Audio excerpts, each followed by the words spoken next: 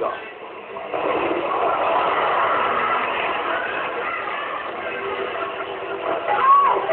You've seen plenty of people with trouble staying on a trampoline. Eileen is having trouble getting off one.